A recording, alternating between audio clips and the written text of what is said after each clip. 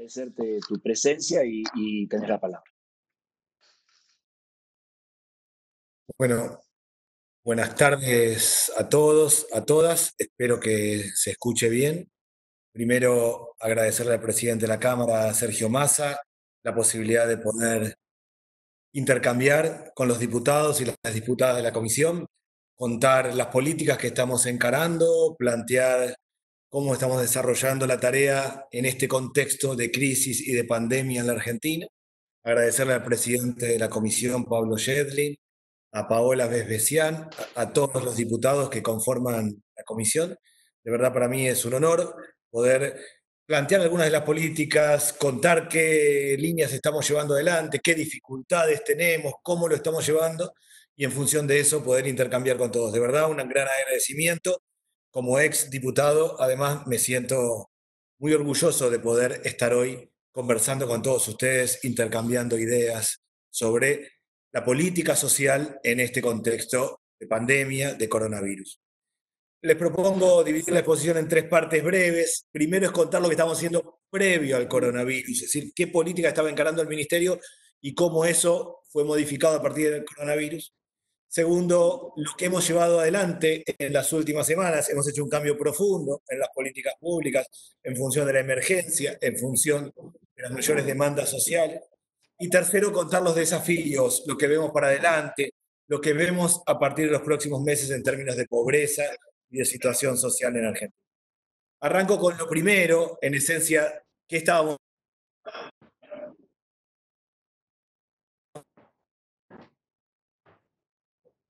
encarando desde el 10 de diciembre. Básicamente planteamos tres ejes centrales de política pública, siempre en adelante. El primero fue el Plan Argentina contra el Hambre. Ahí claramente llevamos adelante, se llama la tarjeta alimentaria, una tarjeta para compra de alimentos que no permite extraer dinero del cajero y sí comprar alimentos, los alimentos que quieren, como quieren las familias, para madres que tienen chicos menores de 6 años, para mujeres a partir del tercer mes de embarazo, para personas con discapacidad que tienen asignación. Cruzamos la base de datos del ANSES, partimos de la base de que eso establecería una base de alimentación en Argentina, una tarjeta de 4 mil pesos para la madre que tiene un chico menor de 6 años, de 6 mil para los que tienen dos o más chicos, Comenzamos en la ciudad, en Concordia, la ciudad que tiene los índices de pobreza más altos de acuerdo al INDEC, y terminábamos en la ciudad de Buenos Aires haciendo un ciclo que cubría todo el país.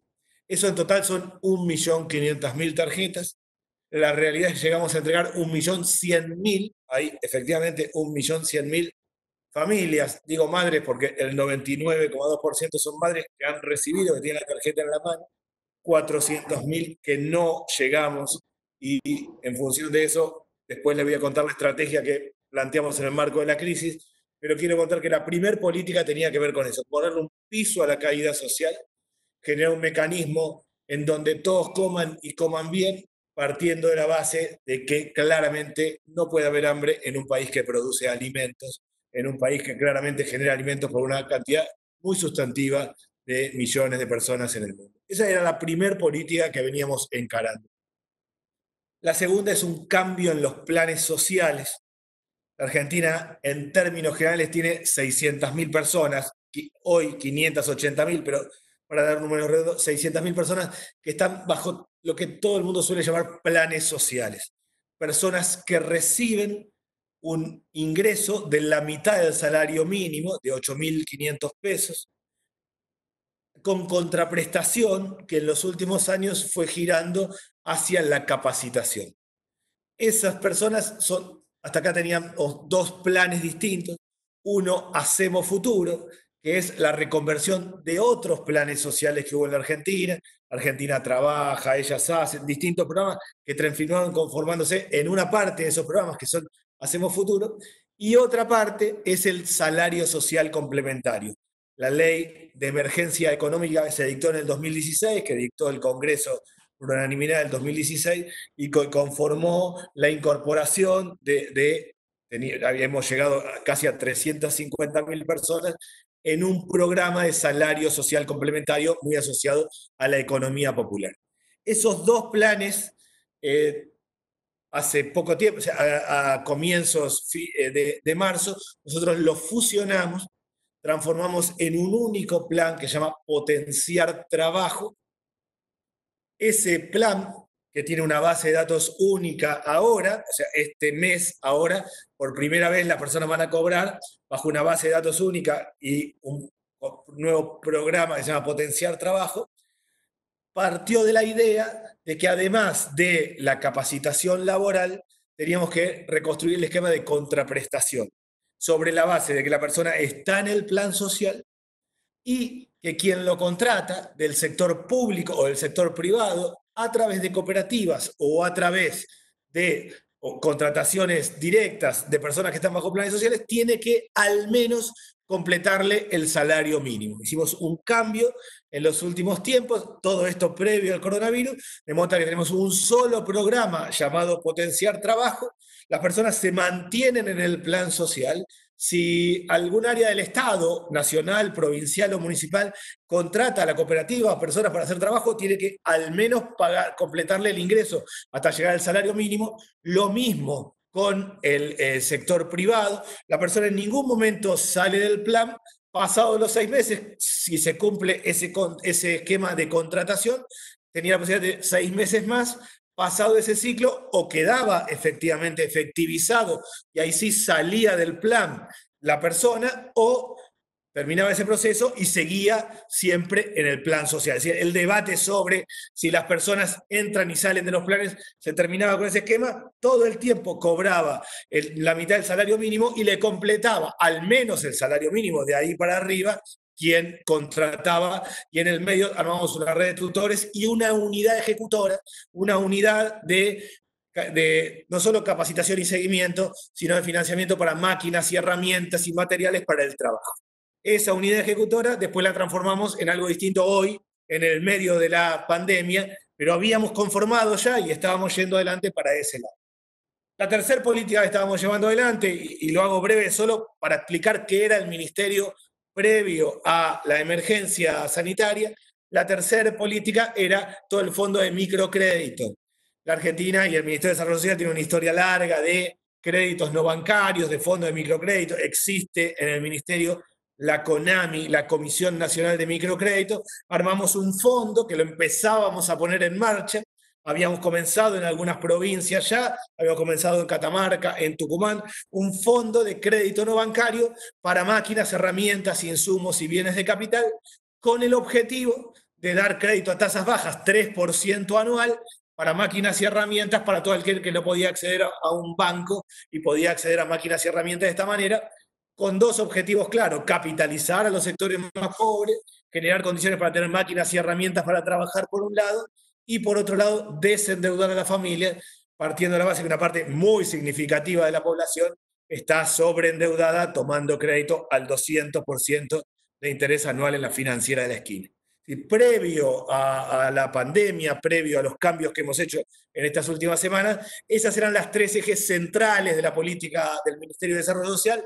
A eso hay que agregarle muchas de las acciones de primera infancia, mucho de lo que tiene que ver con adultos mayores, programas para jóvenes, pero los tres cambios profundos que estábamos encarando, uno muy desarrollado como la tarjeta alimentaria, uno con un reciente como el cambio en los planes sociales y el tema de microcrédito ya en, su fase de, de, puesta en marcha, era lo previo a lo que teníamos sobre la base de las políticas a encarar en esta etapa.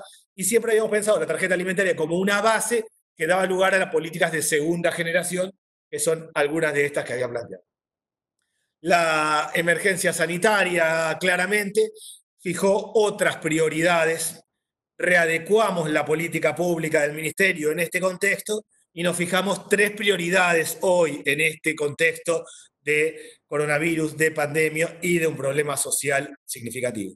Primero es sostener el ingreso de las familias. Partimos de la base de que el 40% de la Argentina informal su principal problema es sostener los ingresos. Y claramente que una de las tareas del Estado es sostener ingresos. De ahí encaramos un conjunto de políticas que ahora voy a, a, comentar y a precisar, pero el primer eje fue generar mecanismos de ingreso a las familias que pierden ingresos, el 40% del trabajo informal, a través de distintos mecanismos del Estado. Una segunda política que definimos y planteamos para este tiempo es un refuerzo de la asistencia alimentaria. Reconvertimos todo lo que tenía que ver con la asistencia alimentaria y generamos nuevas líneas. Doy los títulos y después entro en cada uno de esos. La principal línea es reconvertir el mecanismo de comedores y merenderos, comedores escolares, comedores comunitarios y merenderos, en sistemas de viandas y módulos alimentarios.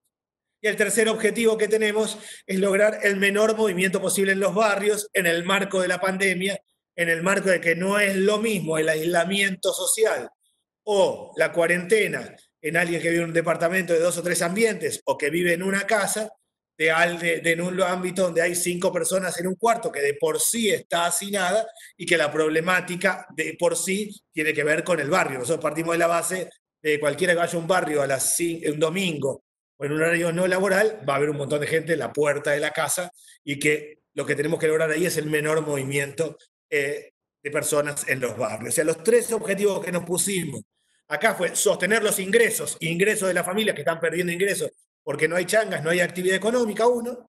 Dos, refuerzo alimentario, refuerzo de la asistencia alimentaria. Tres, menor movimiento posible en los barrios en donde predomina el hacinamiento. En la primera, encaramos un conjunto de políticas, básicamente cinco. La primera fue el bono a los jubilados, un bono adicional de 3 mil pesos para los jubilados que cobran la mínima y ahí hasta llegar a 18.892 pesos para un bono que eleve los ingresos de los jubilados. Segundo, un bono de las personas que tienen asignación universal por hijo, que estoy dando números redondos, pero cobran 3.100 pesos por chico o por chica, y acá se duplicó ese monto. Tercero, un bono de 3.000 pesos para las personas que tienen planes sociales. Eso de lo que yo hablaba, de las casi 600.000 personas que tienen lo que hoy llamamos potenciar trabajo, hubo un bono adicional de 3.000 pesos. Cuarto, algo en lo que yo le doy mucha importancia, es 8 millones de personas tomaron crédito con el ANSES. El, crédito en la Argentina, el sistema de crédito tiene varias fases. Una es el ANSES y es el recrédito, personas que tomaron un crédito con el ANSES, 8 millones de personas entre asignación universal por hijo y jubilados. Ahí se estableció un mecanismo en el que durante el mes de abril y de marzo y de mayo no se pagan las cuotas de los créditos. Ya, ya, habían ya se había evitado el pago en enero, febrero y marzo, se incorporó acá abril y mayo. Y el quinto, la quinta política en términos de ingresos tiene que ver con el ingreso familiar de emergencia, un mecanismo que apunta claramente a atender la problemática del sector informal en términos de ingresos, de 10 mil pesos por familia. Establecimos un criterio ahí que es tomar a los monotributistas categoría A, quienes tienen monotributo categoría B, monotributo social y todas las personas que están en situación de informalidad laboral, que hacen changas, que no están registrados. Se anotaron hasta, hasta el último dato que yo tenía, más de 10 millones de personas, está abierta la inscripción hasta este viernes. Se van a cruzar los datos, es un ingreso por familia, con lo cual al cruzar los datos va a quedar un ingreso por familia de 10 mil pesos. Eso va a completar el cuadro de atención de los ingresos. Ahora, eh, todos los bonos anteriores que yo planteé ya se han pagado, ya los han cobrado las personas. esto del ingreso familiar de emergencia empieza el viernes a pagarse a los que tienen asignación universal por hijo. Ahí no hay que hacer ningún cruce, ya está toda la base de datos del ANSES muy clara, no hay que hacer ningún cruce ahí, en el resto se va a ir pagando para cubrir al conjunto de los que con la cruce de base de datos sea el ingreso familiar de 10 mil pesos. Todo eso indica básicamente una primer fase que es lo que tiene que ver con contener, acompañar y sostener los ingresos de la familia.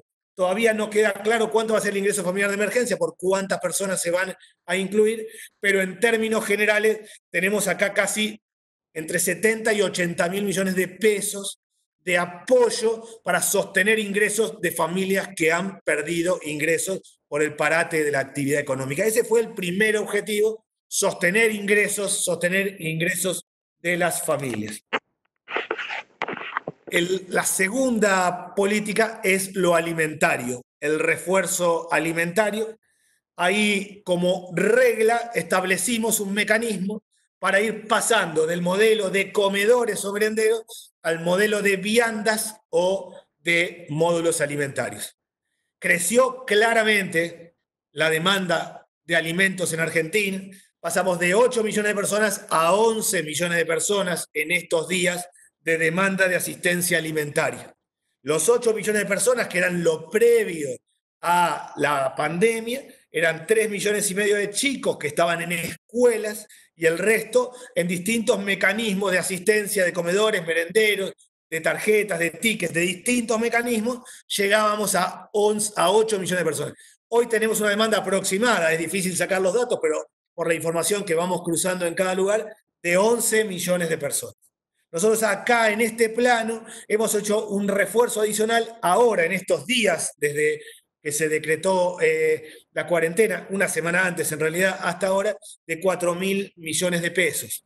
Aquí claramente tenemos varias estrategias. El horizonte, la línea, es el menor movimiento de gente en los barrios e ir al esquema de salir del comedor, en términos de que van varias, personas a un comedor, fortalecer el esquema de viandas, esto es una cocina centralizada, cocinando eh, una persona en, el comedor, extendiendo los turnos y las personas retirando con un tupper o con una vianda eh, varios días.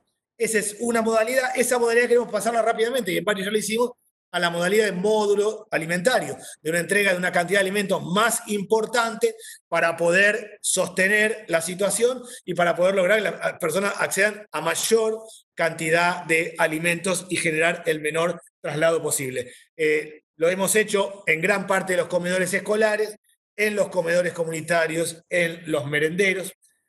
Tenemos distintas estrategias por acá. El Ministerio naturalmente, naturalmente me refiero desde hace varios tiempos, tiene cerca de 3.000 comedores o merenderos a los que transfiere fondos. Es lo que los que están en el tema social suelen llamar comedores PNUD, porque, porque surgió de un fondo original del programa de Naciones Unidas, y son comedores que se hace un seguimiento, un acompañamiento permanente. Nuestra tarea era el resto de los comedores de Argentina ir pasándolos a este esquema que tienen más seguimiento, más acompañamiento y un sistema de transferencia de recursos.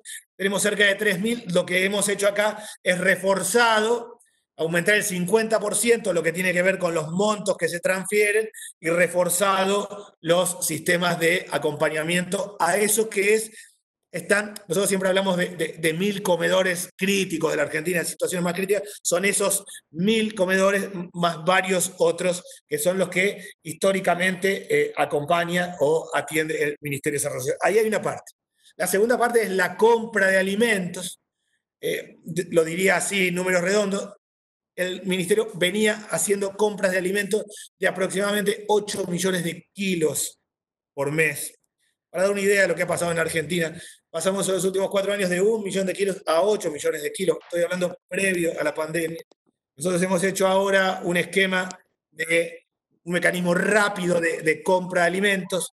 Hemos hecho una licitación rápida de manera que permite la compra directa para acelerar los procesos, tomando mecanismos que se utilizaron en Argentina en el 2002 para una compra adicional, ahora, adicional a, a todo lo del mes, de 12 millones de kilos con el objetivo de poder extender y llegar a reforzar la otra parte, no estos comedores de los que yo estaba hablando, sino lo que tiene que ver con iglesias, con organizaciones sociales, con distintas redes de comedores que existen en la Argentina y que sobre esa base nosotros estamos trabajando para reforzar.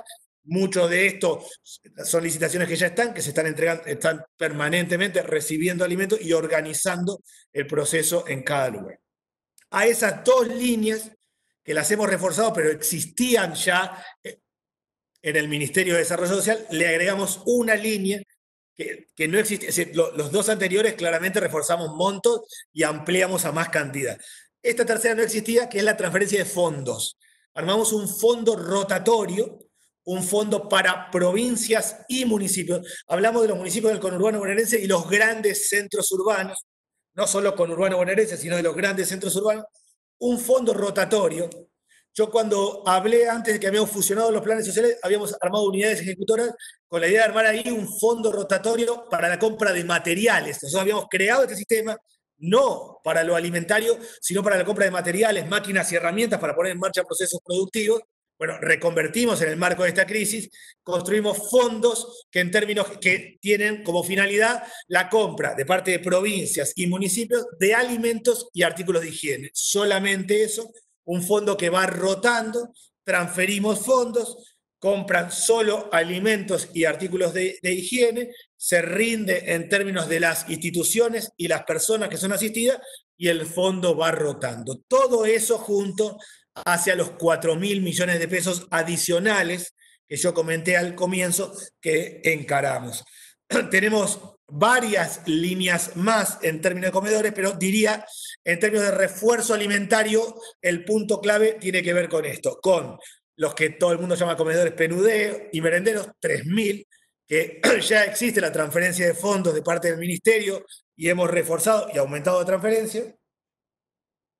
Por un lado, lo que tiene que ver con la compra de alimentos de parte del Estado y los fondos, que en total son 2 mil millones de pesos de esos fondos que apuntan a esto que llamamos un fondo rotatorio para poder comprar alimentos más artículos de higiene. Hemos armado junto con eso un protocolo para la atención a los comedores. Estamos hablando de un país donde los comedores son de manera diversas y una parte importante es una persona que puso un comedor delante de la casa y se le vino un montón de gente y va haciendo lo que puede.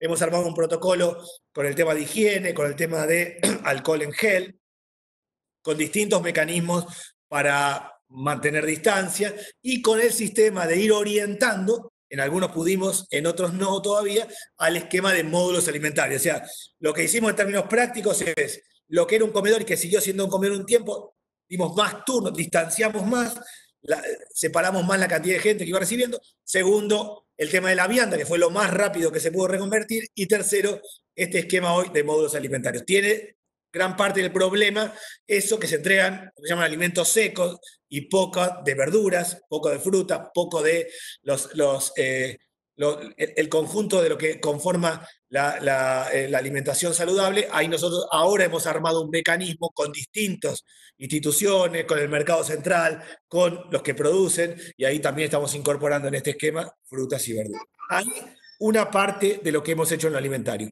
Lo segundo que hicimos en digo, eso en términos generales con el, como podríamos llamar, refuerzo de asistencia alimentaria que termina en comedores.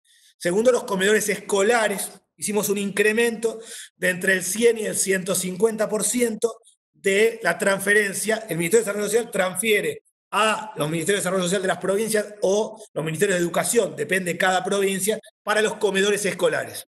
Esto lo estábamos pensando antes, esto lo, habíamos reordenado previo a la pandemia, lo aceleramos ahora y generamos esta transferencia, pero verdaderamente habíamos hecho un estudio antes, habría que aumentar más de lo que aumentamos, pero en este primer contexto, en esta primera etapa, estamos hablando de los primeros seis meses, hicimos un aumento de entre el 100 y el 150% a los comedores eh, escolares. Ahí solo yo tengo todas las cifras de las provincias, puedo pasar la información al diputado o a la diputada que quiera, creo, entiendo que después todo esto que yo estoy diciendo, les vamos a mandar el, material, el informe para que lo puedan tener, pero ahí estamos hablando, para no marear a nadie, de 2.600 millones adicionales a todo lo que yo he dicho hasta acá de, eh, transferencias a los eh, comedores escolares.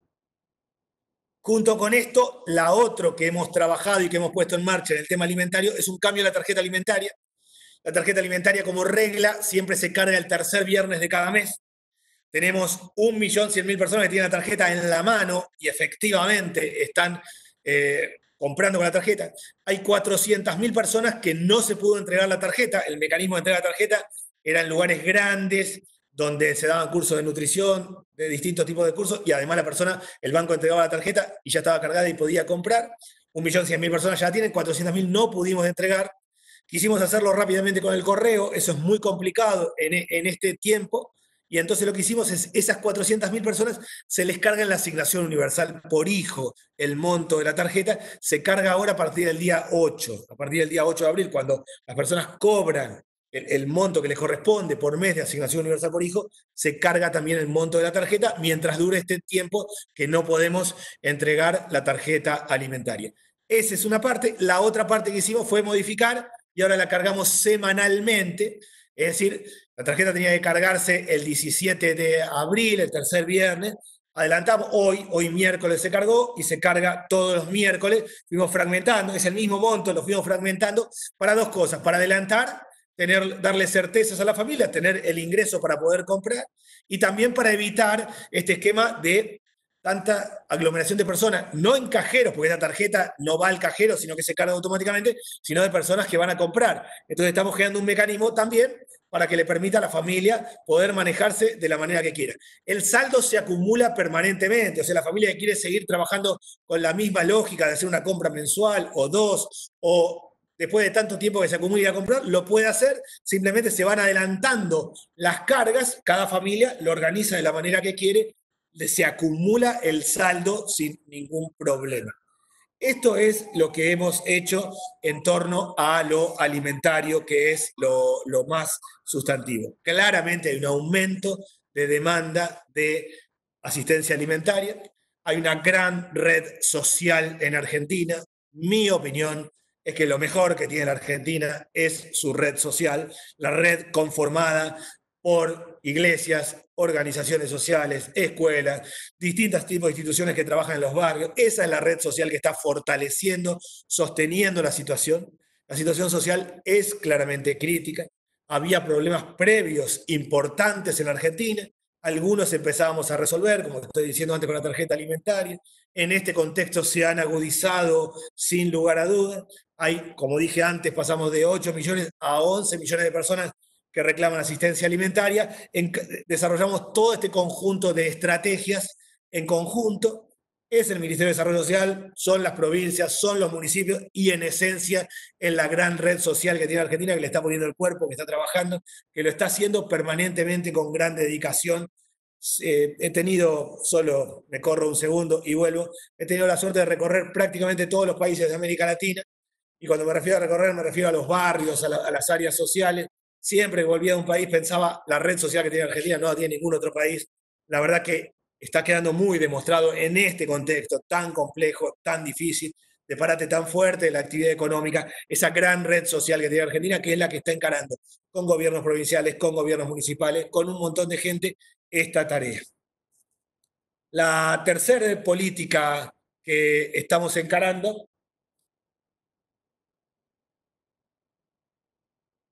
Sí, acá me, me, me, dicen si respondo preguntas. ¿Les parece que complete y el que complete? Ah. Avanzo cinco minutos, cierro y, hablo de las preguntas, perdón. Eh, la tercera política que hemos encarado es lo que tiene que ver en esencia con el menor movimiento de personas en el barrio. Es clarísimo que no es lo mismo el aislamiento social en en alguien que vive en una casa, en alguien que vive en un departamento de dos o tres ambientes, que alguien que vive hacinado, ahí llamamos bancos de materiales chiquititos para el arreglo de la casa, de la escuela, del club, el menor movimiento posible, entendiendo que hay un problema de hacinamiento y de aglomeración importante en varios lugares. Doy eh, algunas medidas adicionales que planteamos, pongo los títulos nada más, esos son los tres ejes centrales, pongo los títulos y, pongo eh, intercambiamos, pido disculpas si fui larguero, quería dar como la mayor cantidad de información posible. Un punto clave es que eh, conformamos un comité de emergencia, un comité de emergencia social. Arrancamos con el conurbano, pero la conformamos para todo el país. Está conformado por las iglesias, el gobierno nacional, en el caso de, la provincia de Buenos Aires, la provincia de Buenos Aires, en el caso de las otras provincias, el, ministro de la provincia, los, eh, las organizaciones sociales, las iglesias y los eh, intendentes, los gobiernos locales. Ese comité tuvo una primera reunión, tenemos una segunda reunión mañana, eh, el comité que hace al conurbano bonaerense mañana a las 3 de la tarde. Eh, hemos incorporado más actores en la primera reunión. hay, algunos actores que no habíamos podido incorporar por la rapidez para, para organizar todo este sistema.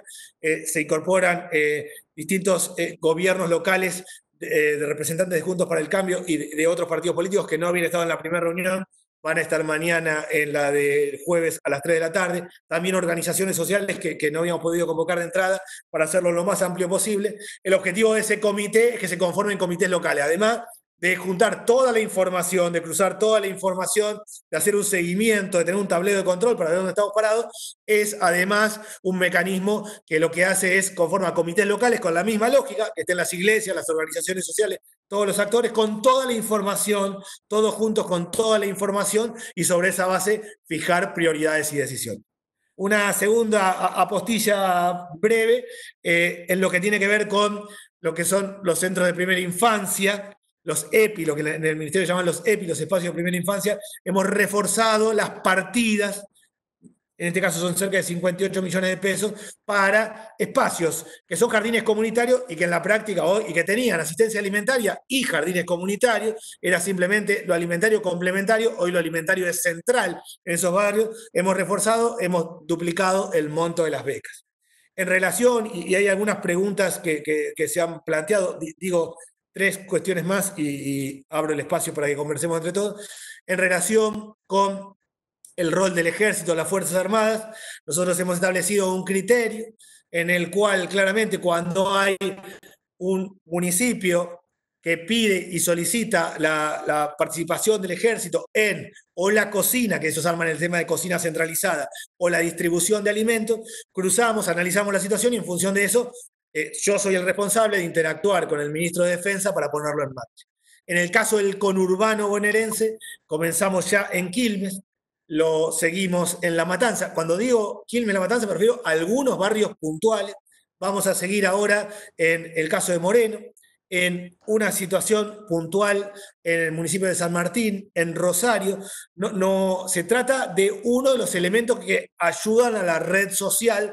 No es que el ejército hace la entrega de alimentos del conjunto del territorio, estamos hablando de territorios inmensos, sino que en algunos lugares más complejos que requieren de mucha logística y de organización, cuando el comité local define que es necesario, evaluamos la situación y ahí está la participación. Siempre los que van del ejército a llevar adelante esa tarea es sin armas, claramente.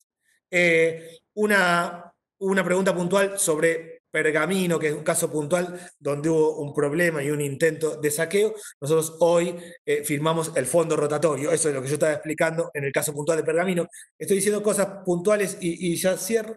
Eh, el tema de los cajeros automáticos, hemos trabajado mucho para evitar lo que ha pasado en los últimos días, es la aglomeración de personas en los cajeros. Saben que ahora el, banco abre este viernes para los jubilados y la asignación universal por hijo. Se va a espaciar por número de documentos el pago del ingreso familiar de emergencia, de modo tal de poder organizar más rápidamente el sistema. No tiene que ver esto con la tarjeta alimentaria, que se carga sola automáticamente. Y un punto que han preguntado y que es un punto que estamos resolviendo es el tema de las garrafas. Estamos armando, no está definido todo lo otro que yo dije, son políticas que ya hemos encarado. En el caso puntual de las garrafas, que es un tema central y que, toma mucha relevancia en este momento, estamos armando un fondo especial para el tema de garrafas. Creemos que lo podemos eh, ya poner en marcha el próximo lunes, pero todavía no está definido. Estas son en líneas generales las políticas que hemos encarado en el Ministerio. Intenté también algunas preguntas que me habían llegado previamente de poder responder y, quedo al intercambio que podamos hacer. Disculpa si fui larguero, pero quería este, poder extenderme en el conjunto de las políticas que se están haciendo. Muchas gracias.